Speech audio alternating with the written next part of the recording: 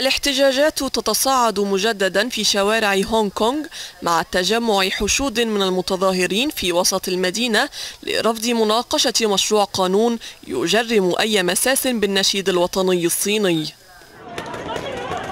بعض هؤلاء المتظاهرين رددوا هتافات ضد الشرطة أمام مبنى برلمان هونغ كونغ بينما ردت الشرطة بإطلاق رذاذ الفلفل لتفريق المحتجين.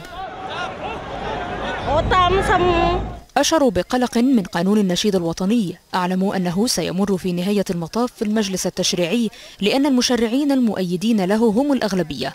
انتقلت من الصين إلى هونغ كونغ وأنا صغيرة. ولهذا السبب أعرف الظلم داخل الصين وأنا قلقة من أن تفرض الصين قيمها ونظامها على هونغ كونغ.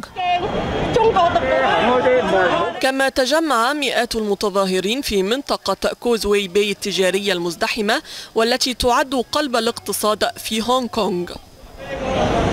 وبدأت المناقشات في المجلس التشريعي حول النص الذي ترى الحركة المؤيدة للديمقراطية أنه يمس بحرية التعبير بعد قرار الصين فرض قانون للأمن القومي على هونغ كونغ والذي جاء بعد أشهر من المظاهرات التي شهدت أعمال عنف في بعض الأحيان في المنطقة التي تتمتع بحكم ذاتي. ودعت الحركة المؤيدة للديمقراطية إلى الاحتشاد يوم مناقشة مشروع القانون الذي يهدف إلى معاقبة من لا يحترم النشيد الوطني الصيني بغرامة مالية باهظة وبالسجن ثلاث سنوات.